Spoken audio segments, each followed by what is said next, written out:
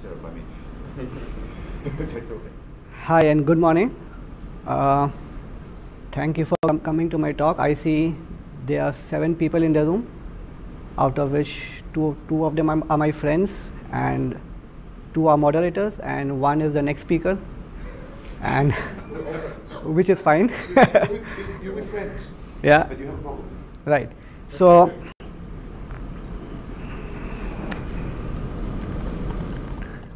this is what basically happens when you know you are you are the first talk of, of, of the last day Yes. so which is which which I, I, I- guess is fine. Okay, so let's let's get started. This is a brief talk about BlueBorne.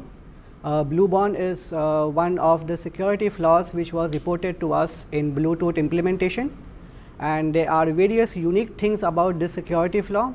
Uh, one thing is that, that this is really a cross implementation flaw, as in you know this is the first of its flaw which affects a lot of platforms which we use. It affects Linux, it affects win- wi- wi- Windows, it affects Android, it affects Apple OS. So this is one of the first cross implementation flaws which we have really seen. Uh, I have two demonstration videos which are very very short, which actually shows how your Android phone can be exploited, or you know how your Linux machines can be exploited. Uh, I actually intended to do a live demo, but uh, I have not had very good experiences with live de- demos in con- conferences because you know things don't seem to work very well. So yeah, let's let's get started. My name is Huzaifa. I work as principal product product security engineer at Red Hat. Uh, I have been Red Hat with around 12 years now.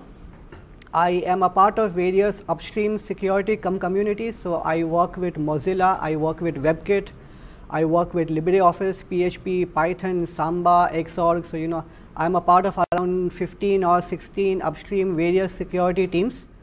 Uh, I contribute to Fedora. I have been contributing to Fedora for around last eight years now, and I have been doing different things.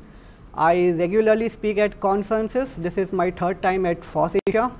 I speak at Fedora conferences. I speak at Red Hat conferences, and you know most of my uh, talk is about security. It's about open source security, right? So let's let's get started and let's talk about Blue Bluetooth. So Bluetooth is really really interesting, and it was it was the standard first came around I think in 1998. So it is not very old, uh, probably 20 years old. So the standard was first introduced in 1998.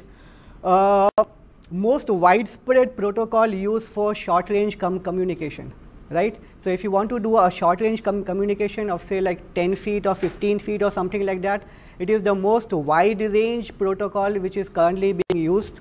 Hi. Uh, there are more than 8.2 billion devices right? So there are more than 8.2 billion devices which currently have bluetooth enabled in some form or, or, or other.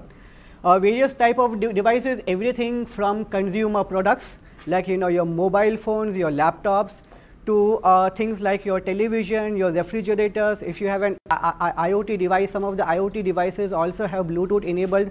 So there are a lot of devices and the projector it's fine now. Yeah. So there are a lot of devices which use Bluetooth. There are some critical medical devices also which use Bluetooth. So you know if you if you have heard of pace pacemakers, pacemakers are small devices which they implant inside the bod- body which is supposed to give electric signals to your heart which makes it beat, right? So the mod- modern pacemakers also are Bluetooth enabled. If you have heard of insulin pumps, insulin is so if you are a diabetic, insulin pump is a special device which has got an emergency dose of insulin which can be actually embedded put inside the body and you know if you are a diabetic and you know if some fine day if you forget to take your insulin injection insulin pumps are special devices which will give you an emergency dose when it figures out that you know your blood insulin level is going down so uh, all of these devices newer insulin pumps newer pacemakers are also bluetooth bluetooth enabled there are a lot of IoT devices which we see nowadays also have Blu- Blu- Bluetooth, right? So it is it is really really widespread. The 8.2 bil- billion num- num- number which you see from last year, I I think is from December 2017, if I'm not wrong. So the numbers are going, right? Uh, uh, Bluetooth is licensed and it's actively managed by the Bluetooth Special Interest Group. It's called, I think, uh, BLE. Sorry, uh, that's pro- pro- probably the next slide. Okay. Uh, it's li licensed and it's man ma managed by the Bluetooth Special Interest Group. Uh, the Bluetooth Special Interest Group consists of 34 com companies, right? So it has got a ha hardware companies, it's got software companies. So we have uh, vendors like Apple, Intel, Microsoft, uh, and different different companies. So they are currently 34 small and big companies which are a part of the Bluetooth Special Interest Group. Uh, they are new newer Bluetooth standards which are going, uh, which they are trying to bring about. There is something called Bluetooth Low Energy.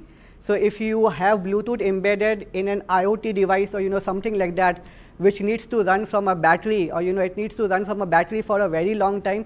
So we have the Bluetooth uh, low energy device as well. There is a new thing which is called Bluetooth mesh uh, topology, which basically means that you know you can extend the range of your Bluetooth. So you know if I'm able to connect to your mobile phone and you are able to connect to somebody else and he is able to connect to somebody else, we can effectively use this kind of mesh topology to extend the range of my Bluetooth. So let's let's come to what is wrong with Bluetooth. The the biggest problem with Bluetooth is, is that it is extremely complicated. It's extremely complicated. It is extremely over-engineered.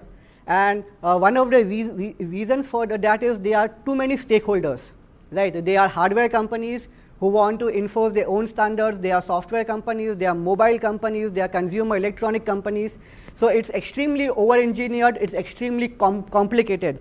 And to give you an example of how over-engineered it is, if you look at Wi-Fi standards, right? So Wi-Fi standards, if you download the Wi-Fi standard, Wi-Fi standard I think is around 450 pages.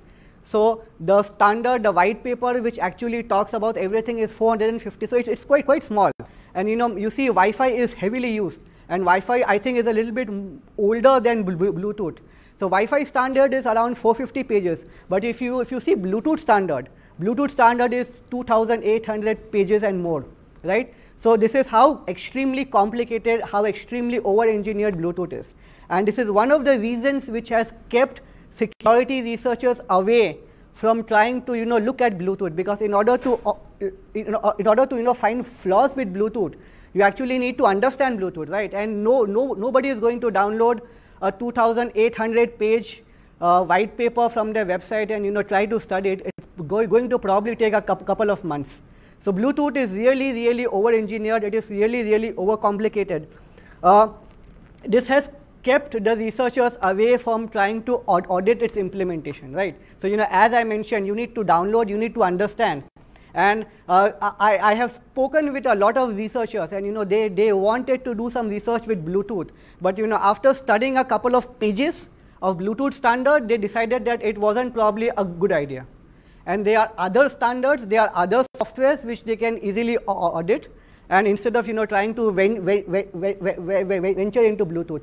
To, to give, give you a simple idea, you know, so networking has this uh, thing called frag fragmentation, which basically means that you know if the packet is too large, you divide it into smaller parts so, so that it will go through networks which don't have a lot of ba bandwidth, right? In Bluetooth, you can do fra fragmentation in 22 different ways right? So there are different layers. On each layer, you can do a different kind of fragmentation, and it is the responsibility of the layer above to you know try to join all the packages to, to, to uh, together and try to figure out at what layer what frag fragmentation was done. So this is an extremely extremely complicated standard, and no no nobody really you know like like I said no, nobody really looked at implementation because you know in order to look at implementation, you need to understand the standard, which is the biggest hurdle which we have seen, right? So you first understand the standard, then you look at the implementation. So, and I pro probably kicked the pro pro projector cable or something like that. Yeah, it, it's back. So uh, you need to you need to you need to understand the standard, then you need to understand the implementation, and then you need to have a security mindset to find flaws. Uh, there was some research which was done in Bluetooth. I think it was a couple of years back. The research was more of a cryptography thing in which you know they found a flaw in which padding needs to be done, right? And you know they found a flaw with, with it, and it was fixed very very fast. But you know that was kind of more of a superficial research than trying to go deep down into uh, what how, how Bluetooth works. So what what is what blue BlueBorne is, and you know what BlueBorne can do, and this is this is really really interesting. And I have a demonstration. uh, if you see the demonstration, you will probably you know never want to switch blue Bluetooth on, right? So what what BlueBorne can basically do? BlueBorne can attack can allow attackers to take control of devices which have Bluetooth enabled, right? And you know if you look at if you look around, you probably have your laptops which have Bluetooth, you have your mobile devices. Uh, you have a, there, there are these uh, devices called Fit, Fitbits and stuff like that, right, which has got Bluetooth enabled because you need to transfer data to your laptop and stuff like that. So if you look around, there are so many devices. You have your cam cameras, you have your mobile phones, you have so many devices which have Bluetooth enabled. And BlueBorne can actually allow attackers to take control of those devices, right? And uh, it can allow attackers to access corporate data and net network and I'll, I'll give you a very very good, good, good example as to how that can be done.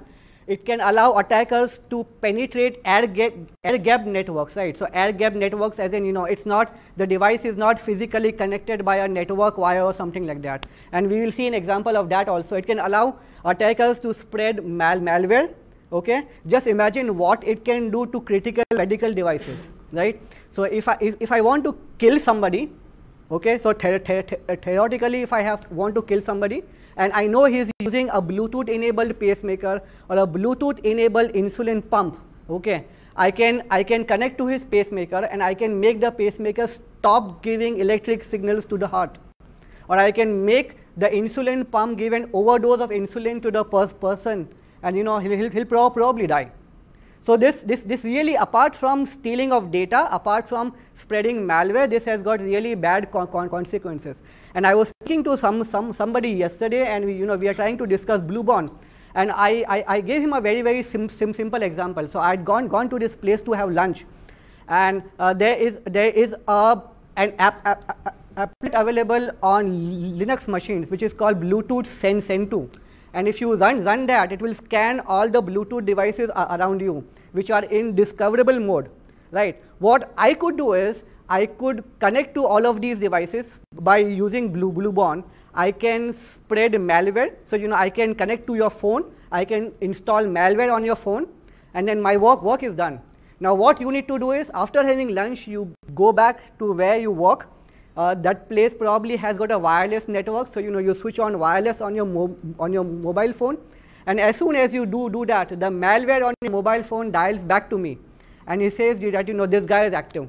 Now, I can use your mobile as a launch pad and I can attack all the devices which are now close to you, right? So, if you go, go back home and if your, if your wife has got Bluetooth, if your kids have got Bluetooth, I can effectively infect all of those phones and when, when, when your wife goes to work, I can use her mobile to infect all of the phones and laptops and devices. And when your kid goes to school and if your kid takes the phone with you, I can use that to I can use that as a launch pad to attack as well, right?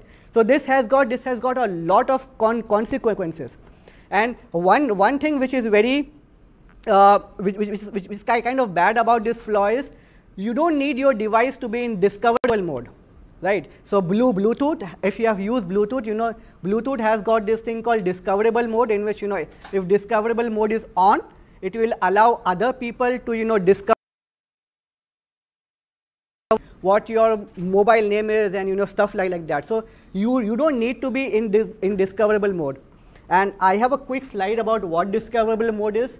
So when, when, when you switch on Bluetooth, by, by default, most of the devices are in discoverable mode. And you know, as I said, and as, as, as, as the word itself says, discoverable as in, you know, if somebody scans, is able to see your mobile phone or, you know, he's able to see your device.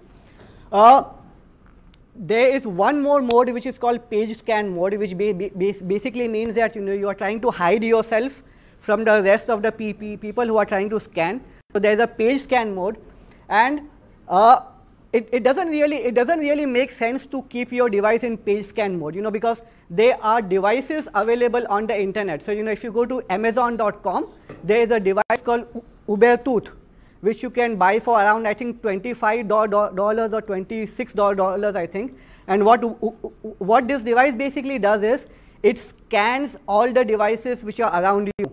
And you don't really need to be in discoverable mode right? So, so you can hide yourself if your Bluetooth, Bluetooth is on and if you are in page scan mode, if you are trying to hide yourself, you don't really need to be in discoverable mode. And there is a very, and if you don't have a device like Ubertooth, right, if you don't have a device like Ubertooth, there is one more thing which you can do, or there is one more thing which, which the attacker can do is, you can try to capture Wi-Fi signals coming from that device. So if my laptop Wi-Fi is on and you know I'm trying to connect, I can try to capture Wi-Fi and the Wi-Fi standard basically says that the MAC address does not have to be encrypted, right? So the wi fi standard says that the MAC address does not need to be encrypted. So I can capture Wi-Fi packets coming or going from your laptop or device and I can find the MAC address and the standard says that if you have Bluetooth on your laptop, if you have Wi-Fi on the laptop, then Bluetooth MAC address is Wi-Fi MAC address mi minus 1. Right? So it is very, very easy. I capture Wi-Fi packets from your device, I subtract 1 and I get the blue Bluetooth MAC address. Once I have the Bluetooth MAC address, I can very easily attack. Right? So this is how an attacker would prepare himself to, to attack. Now let's see the actual flaws which were dis discovered. Uh, they found a flaw with Linux implementation of Blue Bluetooth, right? And it's called CV 2017 1000251. CVE is a unique number which is given to all security flaws, right? So, so that we are able to identify one flaw from the second flaw. Uh, this is essentially the vulnerability lies in the BlueZ implementation of L2CAP EFS feature. So if you don't understand it, you, you need to go to 2800 page, page, pages to actually try to figure out what this is. Uh, it is essentially a stack buffer overflow in the kernel. Uh, the attacker only needs to send a configuration request, right? So very, very important. You don't need to be paired. You don't need to be paired with the Bluetooth device. I, I, I, I only need to send a configuration request, right? Uh, and this is a remote code ex execution. And I, I have a demo which shows you know how the actual attack will work. So this is a remote code execution, which means I can take control of your Linux device if you have Bluetooth which is enabled. Uh, it will not work in modern operating systems. So, you know, if you have Red Hat or if you have Fedora or if you have Debian, the newer version, it may not work because we have a security feature which is enabled, which is called, uh, I think, kernel stack smashing protection. So this is a fe feature which is enabled in a kernel, right? Right, Prasad? Right? So these, these things will not work in the modern operating system. So I have a demo, and what the demo basically does is, uh, there are a lot of smart devices which have got Linux uh, embedded in it, right? So uh, my demo basically uses a Samsung smartwatch, right? So if you are if you are using any of the Samsung wearable devices or you know probably non-Samsung as well, but if it has got Linux embedded, then you know this exploit will probably work. And why this exploit works with the smartwatches because the fingerprint of the operating system is very small, right? You cannot have all of these hardening things inside it, right? So let me see if I can quickly run the demo. There is some music inside it, but uh,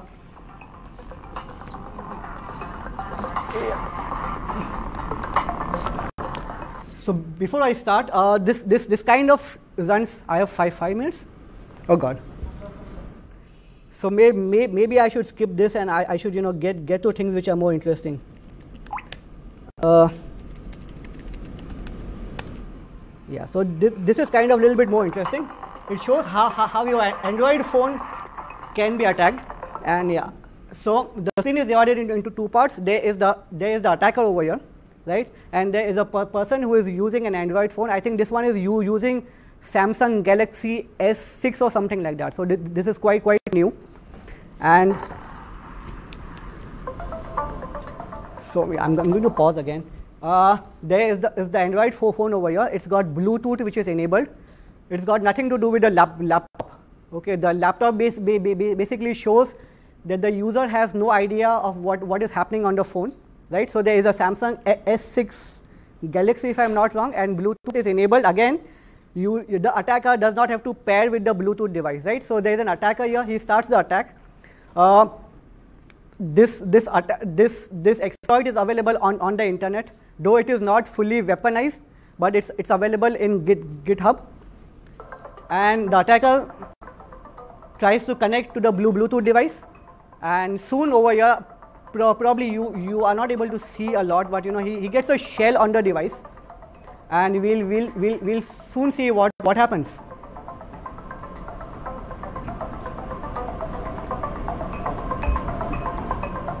Okay, now he, he has con- control of the device and we, we will see what, what he, the, the user has got absolutely no idea. Right? The user has got absolutely no idea what is happening. He will switch the device on. So we'll, we'll, we'll see the device come, come on. And there, right? So the, so, so the attacker is able to wake up the device. He, he opens the camera because he has full con- con- control of the device. He takes a pho- photograph of the person sitting just next, just just opposite the ca- camera, right? And he does that, and he is able to he can access devices on the phone as well, right? So what I can basically do is if, if I have my mobile in front of me, the attacker can open the camera, he can take my photograph, he can transfer the photograph from the mobile phone to his device, right? and there, there are a lot more things which the attacker can be he, steals the pi- pi- pi- picture from the device right apart from that he can switch on the microphone so you know if you are talking with some, somebody he can steal that also he can emulate a keyboard and a mouse right so he can send whatsapp or he can send telegram messages from your mobile as if you are doing it so the attacker has got complete control. He can install malware on your device, you know, as I mentioned, and that malware can spread to other de- de- devices as well. Uh, so let me quickly finish off with the. So yeah, this is the flaw in Linux which we found, and the demo we, we don't have time. There are there were multiple Android flaws which were found. I think there were two or three. Oh God. It's back. Yeah. Uh, we found mul- multiple things. On your Android phone, your Bluetooth service basically runs as COM Android Bluetooth, which has got access to your file system. It has got access to your contacts. It has got access to your photograph. The attacker can even emulate the keyboard on, on, on your mobile phone. The attacker can attack immediately, or you know he can wait where there are other people so, th- so that he can spread uh, we have just seen the demo. We found uh, they found other flaws as well. They found a remote code execution flaw in Apple devices. So in Apple, I think there is something called uh, Siri remote. I have no idea what that is, but you know that that's probably affected. They found a remote code execution flaw in Microsoft win- win- Windows as well. So you know if you are running win- Windows operating system, you can probably do some kind of harm as well. And uh, yeah, I think that's that's it. If, if